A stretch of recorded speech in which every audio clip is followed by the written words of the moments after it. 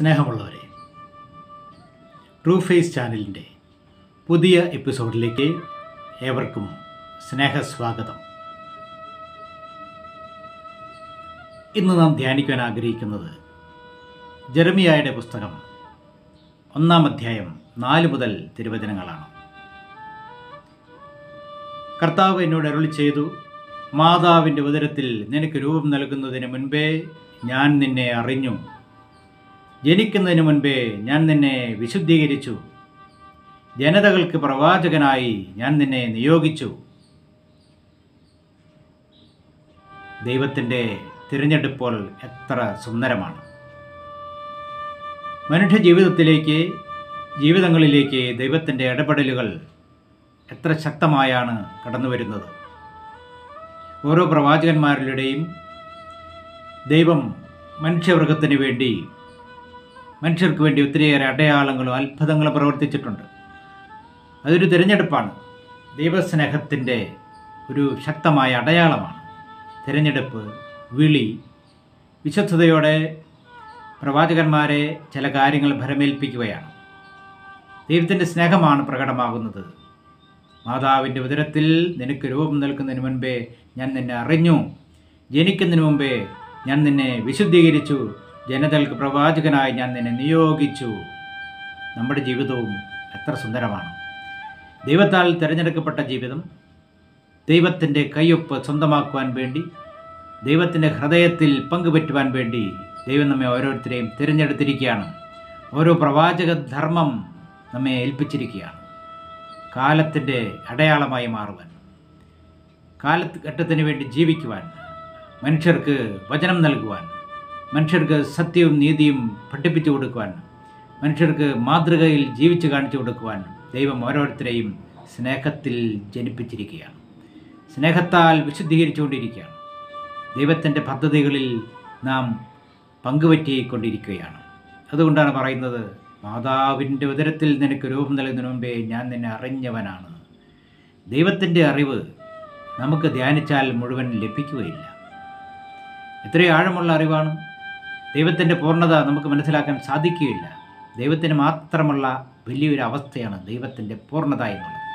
ദൈവത്തിന്റെ അറിവ് ദൈവത്തിന്റെ സ്നേഹം ദൈവത്തിന്റെ പൂർണത നമ്മതിൽ പങ്കുപറ്റിയിരിക്കുകയാണ്. ദൈവത്തിന്റെ ഔദാര്യമാണ് ദൈവത്തിന്റെ കാരുണ്യമാണ് ദൈവത്തിന്റെ ദയയാണ് നമ്മോടുള്ള ദൈവത്തിന്റെ സ്നേഹമാണ്. നമ്മെ പേര് ചൊല്ലി വിളിച്ച് നമ്മെ ഭരമേൽപ്പിച്ച് സ്നേഹത്തിന്റെ നിയമം ജീവിക്കുവാൻ സ്വർഗത്തെ ലക്ഷ്യമാക്കി ജീവിക്കുവാൻ ഭൂമിയിലെ മർത്യർക്ക് സ്നേഹത്തിന്റെ അടയാളം കാണിച്ചു കൊടുക്കുവാൻ വചനം നൽകുവാൻ ദൈവം ഓരോരുത്തരെയും തിരഞ്ഞെടുത്തിരിക്കുന്നു. അപ്പോൾ ഞാൻ പറഞ്ഞു ദൈവമായ കർത്താവെ ഞാൻ കേവലം ബാലനാണ്. സംസാരിക്കുവാൻ എനിക്ക് പാഠവുമില്ല. ഏഴാമത്തെ വചനത്തിൽ നമ്മൾ വായിക്കുന്നു കർത്താവ് എന്നോട് അരളി ചെയ്തു വെറും ബാലനാണെന്ന് നീ പറയരുത്. ഞാൻ അയക്കുന്നിടത്തേക്ക് നീ പോകണം. ഞാൻ കൽപ്പിക്കുന്നത് എന്തും നീ സംസാരിക്കണം. നീ അവരെ ഭയപ്പെടേണ്ട.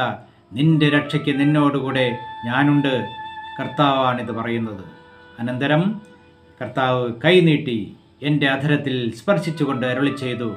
ഇതാ എന്റെ വചനങ്ങൾ നിന്റെ നാവിൽ ഞാൻ നിക്ഷേപിച്ചിരിക്കുന്നു. പിഴുതെറിയാനും ഇടിച്ചു തകർക്കാനും നശിപ്പിക്കുവാനും തകിടം മറിക്കുവാനും പണിതുയർത്തുവാനും നട്ടുവളർത്താനും വേണ്ടി ഇന്നിതാ ജനതകളുടെയും രാജ്യങ്ങളുടെയും മേൽ നിന്നെ ഞാൻ അവരോധിച്ചിരിക്കുന്നു. ജെറമിയ ഒന്ന് എട്ട് മുതൽ പത്ത് വരെയാണ് നാം വായിച്ചത്. സ്നേഹമുള്ളവരെ എത്ര ശക്തമായ പ്രബോധനമാണ്. നീ അവരെ ഭയപ്പെടേണ്ട. നിന്റെ രക്ഷയ്ക്ക് നിന്നോടുകൂടെ ഞാനുണ്ട്. കർത്താവിന്റെ വചനമാണ് ശക്തമായ വചനം. ദൈവത്തിന്റെ ഇടപെടലുകളും ദൈവത്തിന്റെ പരിപാലനയും ദൈവത്തിന്റെ രക്ഷയും പ്രകടമാകുന്ന വചനം. കർത്താവാണിത് പറയുന്നത്. അനന്തരം കർത്താവ് കൈനീട്ടി പ്രവാചകന്റെ അധരത്തിൽ സ്പർശിച്ചുകൊണ്ട് അരുൾ ചെയ്യുന്നുണ്ട് ഇതാ എന്റെ വചനങ്ങൾ നിന്റെ നാവിൽ ഞാൻ നിക്ഷേപിച്ചിരിക്കുന്നു. ഇതാ എന്റെ വചനങ്ങൾ നിന്റെ നാവിൽ ഞാൻ നിക്ഷേപിച്ചിരിക്കുന്നു. ദൈവത്തിന്റെ പ്രവൃത്തിയാണ് എത്ര ശക്തമായ പ്രവൃത്തിയാണ്. ജീവിതത്തിൽ വചനം പ്രകടമായ അട്ടയാളങ്ങൾ നൽകുന്നുണ്ട്. എന്റെ വചനങ്ങൾ നിന്റെ നാവിൽ നിക്ഷേപിച്ചിരിക്കുന്നു. പിഴുതെറിയുക ഇടിച്ചു തകർക്കുക നശിപ്പിക്കുക തകിടം മറിക്കുക പണിതുയർത്തുക നട്ടു വളർത്തുക കൃത്യമായ ദൗത്യം വചനത്തിലൂടെ ദൈവം പ്രവാചകന് നൽകുകയാണ്. പിഴുതെറിയണം ഇടിച്ചു തകർക്കണം നശിപ്പിക്കണം തകിടം മറിക്കണം പണിതുയർത്തണം നട്ടു വളർത്തണം ജീവിതത്തിന്റെ ക്രമീകരണങ്ങളാണ്. ജീവിതത്തിന്റെ ഒരു താളം വരണമെങ്കിൽ സ്വർഗീയമായ താളം. ദൈവസ്നേഹത്തിന്റെ താളം വരണമെങ്കിൽ ചില കാര്യങ്ങൾ പിഴുതെറിയണം. പാപങ്ങൾ ബന്ധനങ്ങൾ പിഴുതെറിയണം. ഇടിച്ചു തകർക്കാനുണ്ട്. നാം പണിതുയർത്തിയ സ്വാർത്ഥതയുടെ ചില ഉയരങ്ങൾ ഇടിച്ചു തകർക്കണം. നശിപ്പിക്കണം. തകിടം പറയും നമ്മുടെ ഇഷ്ടങ്ങളൊക്കെ തകിടം പറയും ദൈവം ജീവിതത്തിൽ പ്രവർത്തിക്കുമ്പോൾ ഇഷ്ടങ്ങളൊക്കെ തകിടം പറയും സ്വാർത്ഥത തകിടം പറയും സ്വകാര്യങ്ങൾ സ്വകാര്യതകളൊക്കെ തകിടം പറയും ദൈവത്തിന്റെ ഹിതം നിറവേറും. ദൈവത്തിന്റെ പദ്ധതികൾ മാത്രം നിറവേറണം. അവിടെയാണ് സന്തോഷം അവിടെയാണ് സമാധാനം.